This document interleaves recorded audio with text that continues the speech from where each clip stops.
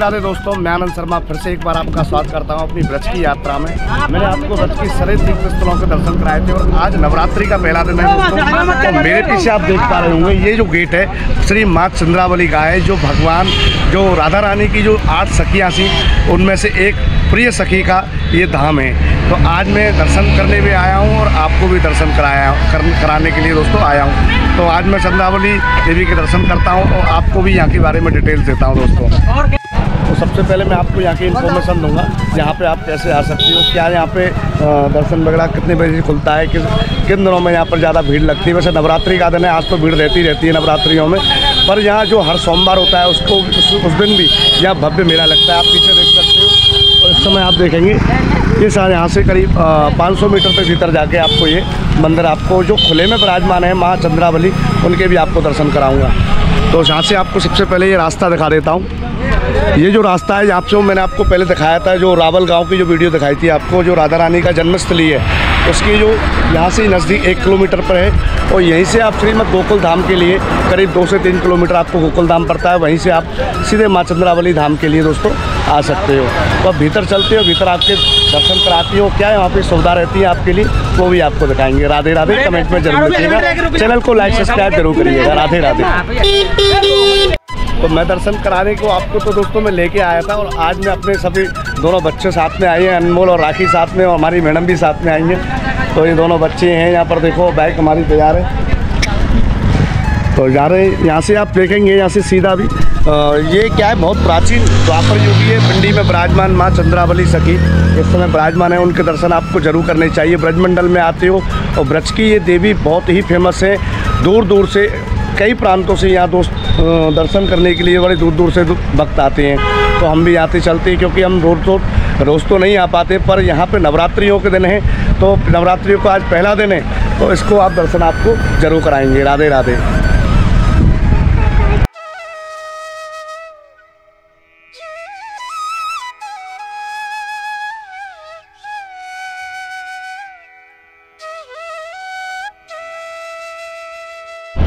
तो दोस्तों, मैं मंदिर के नज़दीक आ चुका हूँ और मंदिर के लिए आप देख रहे हो मेरे पीछे जो है करीब मेन रोड से करीब 500 मीटर भीतर आने के बाद ये आपको मंदिर का यहाँ पर जो यमुना किनारे पर जो यमुना तट पर जो बना हुआ है माता का मंदिर, उस मंदिर पर हम आ चुके हैं। यहीं से सामने आप देखेंगे भव्य माता का ये मंदिर।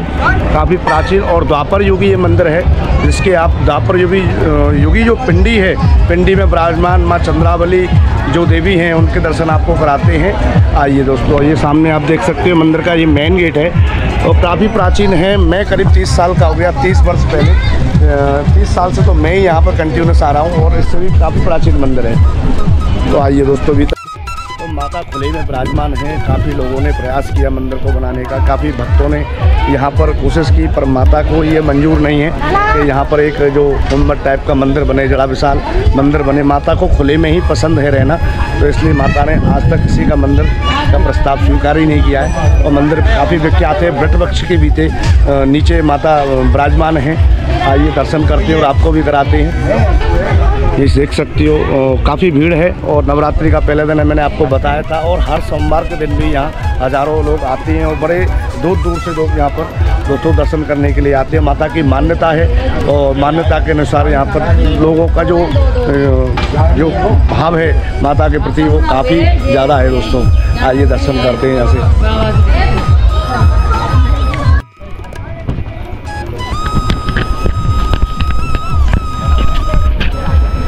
मंदिर के भीतर हम आ चुके हैं और मंदिर के सबसे पहले मंदिर के द्वार पर स्वागत के लिए देखो। तैयार हैं, यहाँ से अब चलते हैं भीतर और यहाँ पे ही प्रसाद वगैरह की दुकान आप यहीं से मिल जाती है। देखो, प्रसाद की सभी दुकानें वगैरह हैं तो माता के लिए प्रसाद है, चुनरी वगैरह जो लेके जाते हैं भक्त वगैरह, उनके लिए।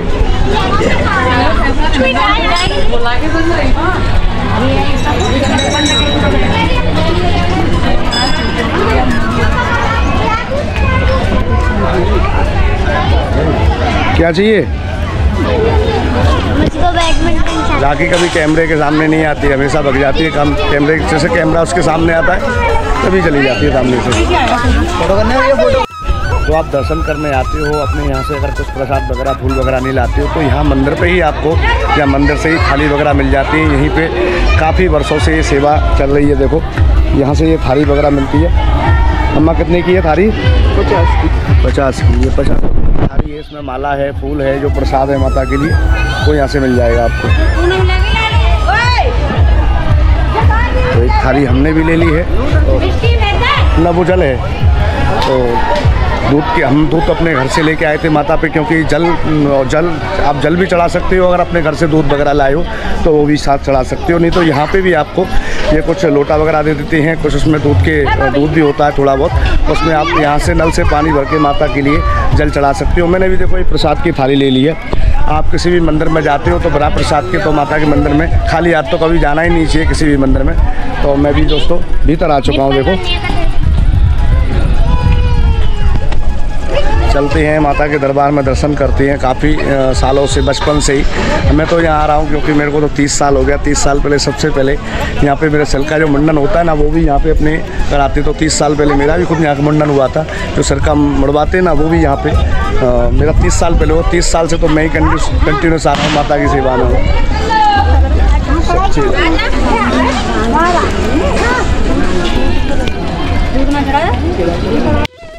दोस्तों काफ़ी भीड़ है। मैंने बताया था नवरात्रि का दिन है नवरात्रि में वैसे भी यहाँ पर आप आते हो तो वैसे तो आपको शांति मिलती है। और दिनों में पर सोमवार का जो दिन होता है तो सोमवार के प्रत्येक सोमवार को यहाँ पर काफ़ी भीड़ मिलती है आपको। तो आप देख सकते हो, खुले में ही विराजमान है। माता मैंने आपको बताया था, क्योंकि यहाँ पर काफ़ी भक्त आए, काफ़ी भक्तों ने कोशिश की यहाँ पर माता का भव्य मंदिर बनाने की, पर माता को मंजूर नहीं है। माता को खुले में ही रहना पसंद है, इसलिए यहाँ पर आप माता खुले में विराजमान है वृट वृक्ष के नीचे। तो दर्शन कराएँगे। बहुत अद्भुत और एक पिंडी स्वरूप। बहुत सालों से यहाँ विराजमान माता और द्वापर युगी स्थान आप मेरी वीडियो में देखने वाले हो। वीडियो अच्छी लगे तो लाइक, कमेंट एंड शेयर दोस्तों, ज़रूर करिएगा। राधे राधे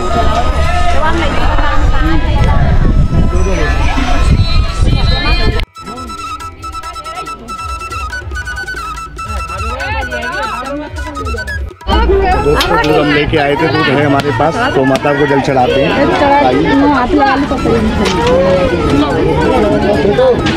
बोल सच्चे दरबार की चंद्रावली मैया की जय।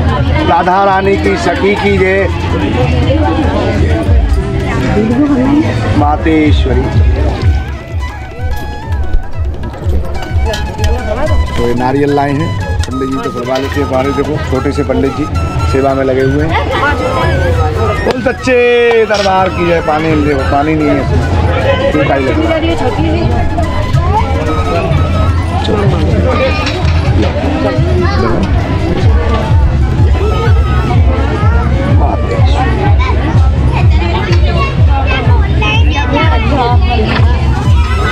प्रसादी कर दो, पंडित जी प्रसादी कर दूँ।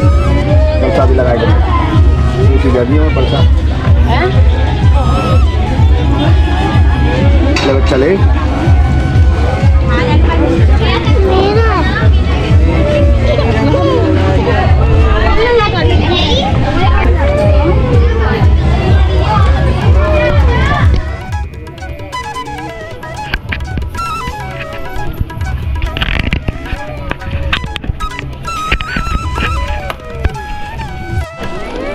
माता के दर्शन हो गए अब माँ का माता का जो महाप्रसाद के नाम से जो छोला है ना, माता पे जो चढ़ता है, शाम को जो चोला चढ़ता है, श्रृंगार होता है माता का तो वही चोला का ये प्रसाद ही है।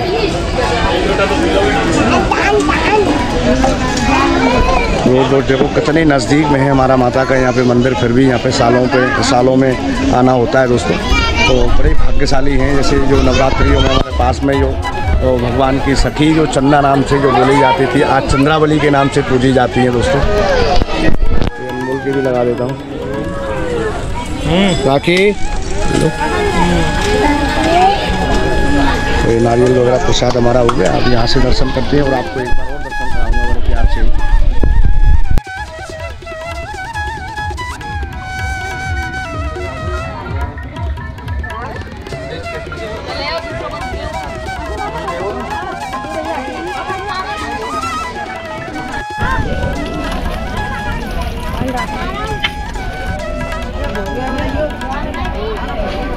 sarap niya. Meron sa Sarap. Sarap. Sarap. Sarap.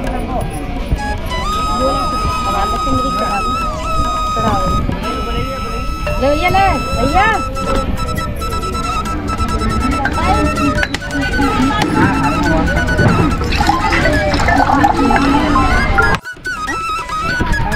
दोस्तों दोपहर का टाइम है करीब 12 बज रहे हैं तो काफ़ी लेट आया था मैं। तो सही आया था उस, उस माता की जो इच्छा होती है तभी ये काम होते हैं। और उस हिसाब से मेरे को यहाँ पे भीड़ भी काफ़ी कम मिली थी। तो आप सामने देख सकते हो काफ़ी कम भीड़ है। और माता के दर्शन हो रहे नहीं तो हज़ारों आदमियों के लाखों आदमियों की भीड़ रहती है। वहाँ आपको देख सकते हो कितनी बैरिकेटिंग वगैरह लगी हुई है। उस हिसाब से यहाँ लोग घूम के आते हैं।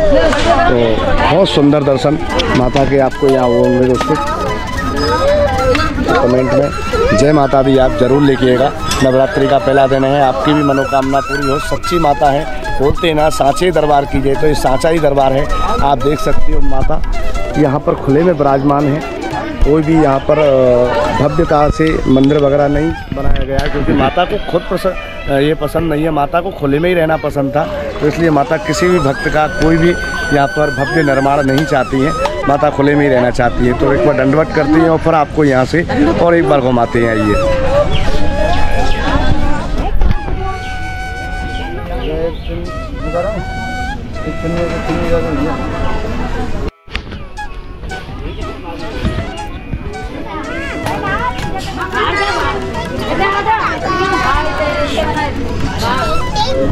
मंगल्ये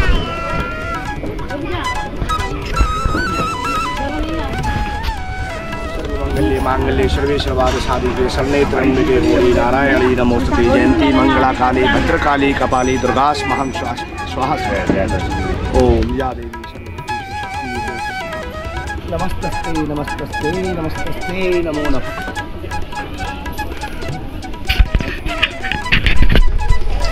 दोस्तों, माता के हमने रोक दे लिए। अब यहाँ से आपको भैरव बाबा के दर्शन कराती है, क्योंकि प्रत्येक माता के मंदिर के आगे आपको भैरव बाबा का मंदिर देखने को ज़रूर मिलता है। तो यहाँ पे आपको सामने भैरव बाबा के दर्शन आपको ज़रूर कराने हैं, क्योंकि माता के दर्शन हो गए। अब भैरव बाबा के दर्शन आपको, यहाँ देखो ये भैरव बाबा विराजमान है।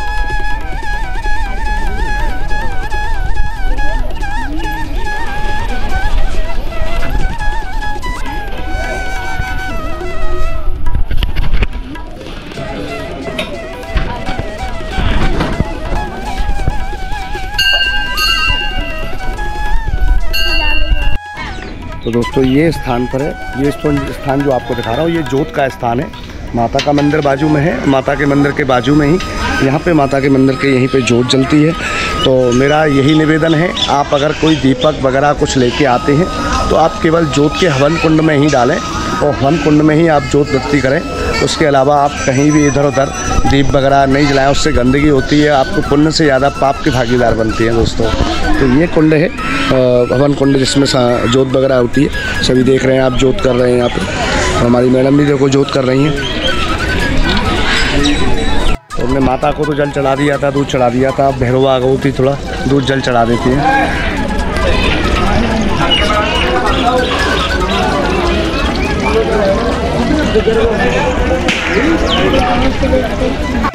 यहीं से आप देख सकते हो, ये जो वेरिकेटिंग वगैरह देख रहे हो दोस्तों बहुत ज़्यादा बैरिकेटिंग है वहाँ से लेके वहाँ तक आपको। तो ये बैरिकेटिंग क्या ज़्यादा जब यहाँ भीड़ होती है तो ये बैरिकेटिंग का प्रयोग किया जाता है, जिससे जो काफ़ी श्रद्धालुओं की जो भीड़ का जो सैलाब जो उमड़ता है, उसको थोड़ा कंट्रोल करने के लिए, भक्तों को बारी बारी दर्शन करने के लिए ये रेलिंग वगैरह का प्रयोग किया जाता है तभी। अब यहाँ से आपको जो यहाँ पे जो छोटे छोटे जो मुख्य मंदिर हैं, उनके भी आपको दर्शन करा देता हूँ। तो यहाँ पर देखो। दोस्तों, ये सामने माता का मंदिर है। माता के मंदिर के सामने ही यहाँ पर एक संत हैं, जिनके मुरली भगत जी के नाम से जानते हैं, जिन्होंने ही इस मंदिर की जो जो पूरी स्वरूप, जो माता का जो मंदिर है, उसको विराजमान, देखो आप देख सकते हो।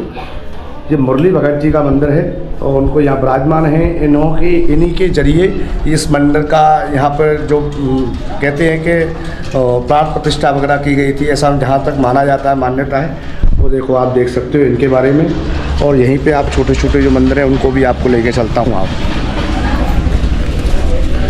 परिक्रमा मार्ग करते हैं, परिक्रमा मार्ग करते हुए तभी आपको मंदिरों के दर्शन कराते हैं जी। तो आप देख सकते हो, मैं परिक्रमा मार्ग में जा रहा हूँ और अभी भीड़ नहीं है तो भीड़ ना होने की वजह से थोड़ा साइड में से ऐसे निकल जाते नहीं तो ये भीड़ होती तो काफ़ी वेरिफिकेटिंग वगैरह लगी हुई है, इसमें से होके जाना पड़ता तो अब मंदिर इधर से जैसे ही आप परिक्रमा मार्ग करते हो, परिक्रमा में आते हो तो गोल परिक्रमा होती है माता की, दर्शन करके ऐसे आते हैं आप। तो यहीं से आपको छोटे छोटे मुख्य मंदिर हैं, जो माता के यहाँ पर मंदिर में जो विराजमान है छोटे, जैसे कि ये हनुमान जी का यहाँ पर मंदिर है विराजमान। यहाँ हनुमान जी और यहाँ माता काली का देखो मंदिर है। बहुत प्राचीन और अच्छा एक भाव प्रकट किया गया है यहाँ के ब्रजवासियों के ज़रिए। माता का जो भाव है यहाँ भक्तों के हिसाब से काफ़ी ज़्यादा है। यहाँ पे देखो, शेर पे सवार माता है यहाँ पर, और यहीं पे आप देखेंगे तो यहाँ पे देखो, एक हनुमान जी का मंदिर यहाँ पे भी देखो, काफ़ी प्राचीन है। मैं आपको बताता हूँ कि तीस वर्ष पहले यहाँ पे जो, जैसे कि लोगों को, बच्चों के मुंडन वगैरह होते हैं तो यहाँ पे होते थे, मैंने पहले भी बताया तो दोस्तों, काफ़ी गर्मी है। और अभी दर्शन हो चुके हैं। काफ़ी बढ़िया सुंदर दर्शन हो गई भीड़ नहीं मिली थी। थोड़ा लेट आया था इस वजह से क्योंकि सुबह अगर मॉर्निंग में आता तो ज़्यादा भीड़ मिलती। अब दोस्तों चलते हैं नेक्स्ट वीडियो की ओर। तब तक आपको कोई नई जगह लेके जाएँगे। मेरा प्रोग्राम बन रहा है आपको वैष्णो देवी ले जाने का। तो वैष्णो धाम जाऊँगा तो वैष्णो धाम में ऐसी नवरात्रि आपको मैं वीडियो देने वाला हूँ। तब तक इस चैनल को आप सब्सक्राइब लाइक शेयर ज़रूर करिएगा। राधे राधे।